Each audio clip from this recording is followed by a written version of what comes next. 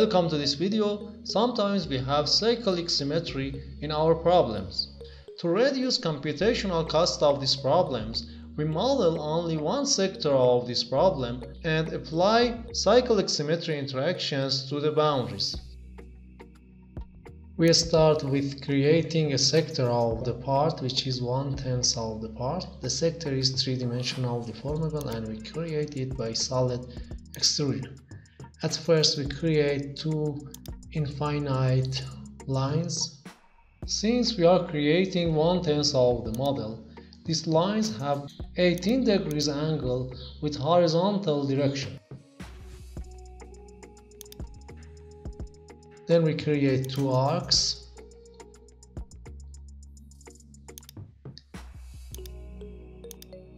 which are between two infinite lines and the radii of these arcs are 85 and 100 millimeters. Finally we close the section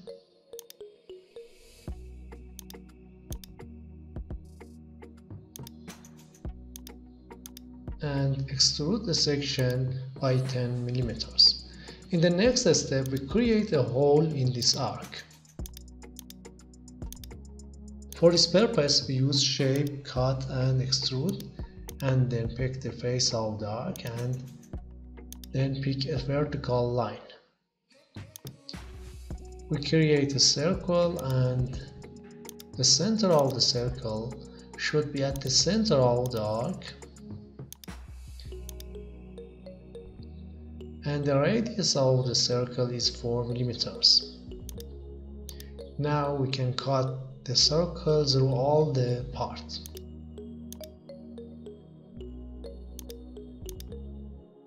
In the property module, we create a material which is a steel and enter elastic constants of steel in megapascal here.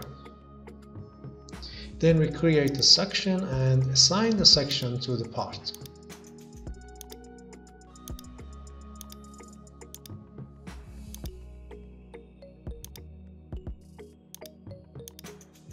We enter the part as an independent instance in the assembly module and we create a static general step in the step module. Please notice that we cannot use cyclic symmetry in explicit procedure.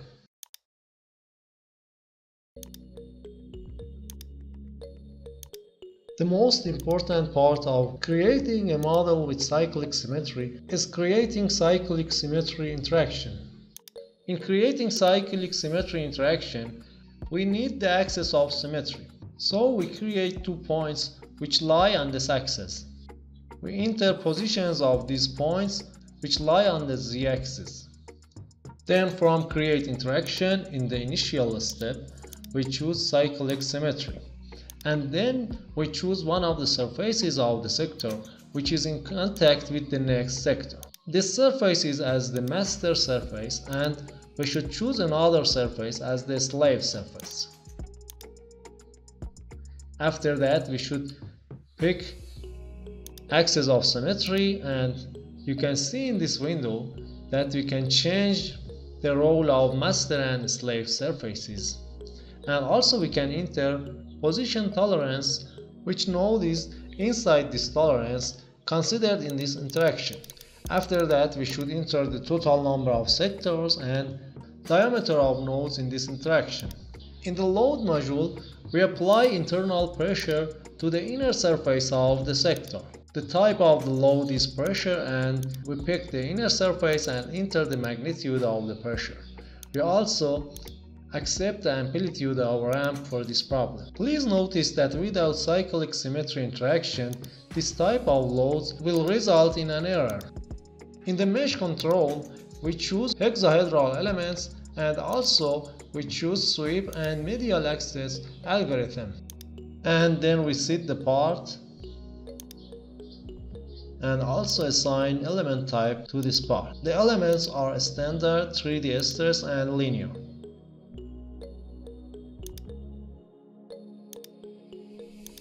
Finally, we can mesh the part and create a job and submit the job.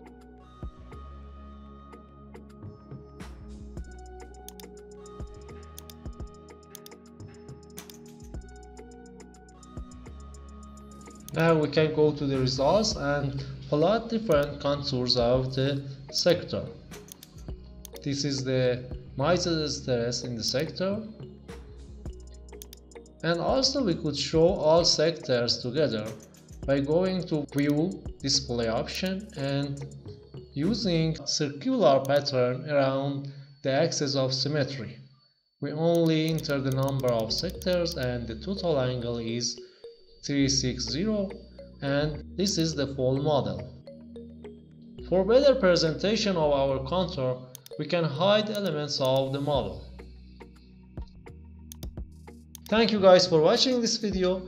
If this video has helped you out, please let us know by a like, a comment or a subscribe. See you in next videos.